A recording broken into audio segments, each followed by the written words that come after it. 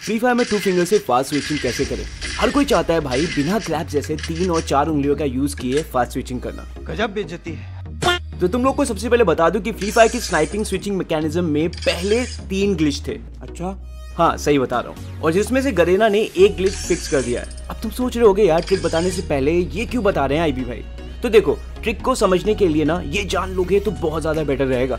तो स्नाइपर का सबसे पहला स्विचिंग ग्लिच था कि जब हम स्नाइपर से फायर करते थे और जैसे ही सेकंड स्नाइपर पे स्विच करते थे सेकंड स्नाइपर भी फायर करने के लिए रेडी पोजीशन में रहती थी।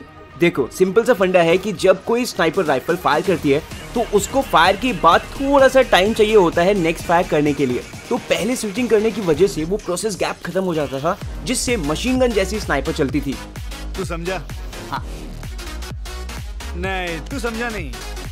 वो ग्लिच तो गरेना ने हटा दिया, लेकिन अभी भी दो ग्लिच स्नाइपर में बचे हुए हैं। वो मैं नेक्स्ट वीडियो में अच्छे से एक्सप्लेन करूँगा। स्नाइपर में फास्ट स्विचिंग करने के लिए हम लोगों को सबसे पहले स्विच टाइम कम करना पड़ेगा। अब ध्यान से देखो, यहाँ पे मैं टू फिंगर पे नॉर्मल स्विचिंग कर रहा हूँ। फायर करने और स्विच करने के बीच में थोड़ा सा एक्स्ट्रा टाइम लग रहा है। अब हमें इस एक्स्ट्रा टाइम को कम करना है। वो कैसे करेंगे? अब थ्री फिंगर से ये करना तो बहुत आसान है।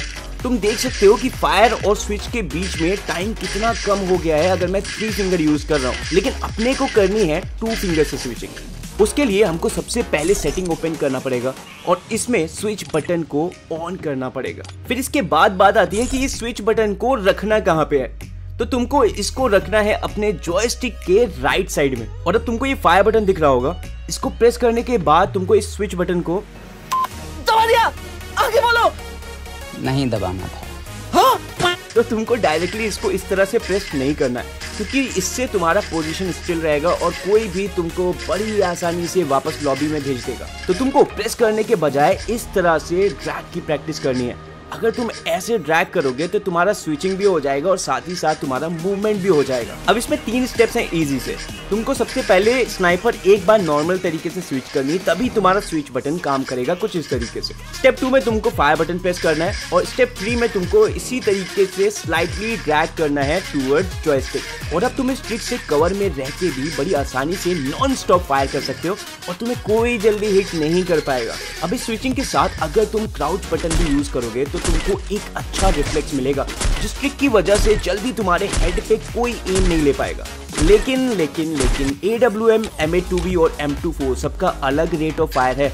और जिसका रेट ऑफ़ फायर जितना कम तुमको उसको फास्ट स्विच करने में उतना ही ज़्यादा प्रॉब्लम होगा। अच्छा?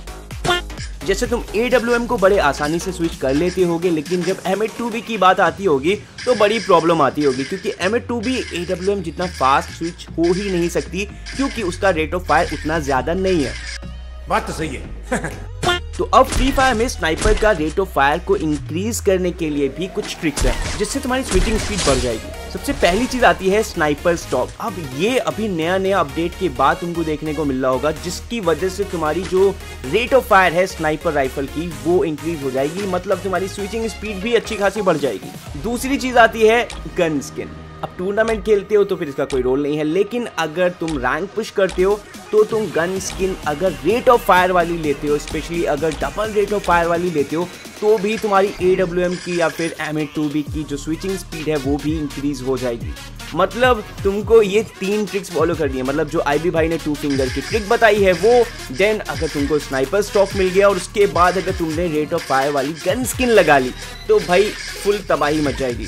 तो तुम लोग भी ट्रेनिंग ग्राउंड में जाके तबाही मचाना शुरू कर देना। लेकिन रुको रुको। तुमको क्या क्या प्रॉब्लम शुरू में आएगी अगर तुम ये सब ट्रिक्स यूज़ करते हो तो? कई बार तुम्हारा फायर बटन दबने के बाद स्विच भी होगा लेकिन फायर नहीं होगा। या फिर स्विचिंग के बीच में अटक जाओगे लेकिन प्रैक्टिस के साथ वो सब चीज़ें ठीक हो जाएगी डोंट वरी अरे टेंशन नहीं लेने का ना और अगर तुम लोग को स्मार्ट वॉल थ्रो का परफेक्ट ट्यूटोरियल चाहिए तो इस वीडियो पे 10 के लाइक एम करा दो जल्दी से। वो जानने के बाद तुम्हारी वॉल स्पीड भी बहुत ज़्यादा अच्छी हो जाएगी और उसमें मैं बहुत सारी चीज़ें एकदम डिटेल में बताऊँगा। तो मतलब अब चैनल पे बहुत मस्त मस्त वीडियोस आने वाली हैं तो चैनल को सब्सक्राइब ज़रूर से कर लेना। सेकंड चैनल सब्सक्राइब कर लो फैमिली वहाँ पे ई स्पोर्ट्स रिलेटेड वीडियोज़ आने वाली है। अभी मैं बहुत सारी अलग अलग तरीके की ई स्पोर्ट की वीडियो डालूँगा वहाँ पे, और वहाँ पे रेगुलर लाइव स्ट्रीम भी होता है, जहाँ पे हम लोग गिल टेस्ट लेते हैं। तो जल्दी से जाके उस चैनल को सब्सक्राइब कर लेना डिस्क्रिप्शन में लिंक है और उसका बेल नोटिफिकेशन भी ऑन ज़रूर कर लेना। मैं मिलता हूँ नेक्स्ट वीडियो में। Till then goodbye take care family fast glue wall की ट्रिक बहुत जल्दी पोस्ट करने वाला हूँ।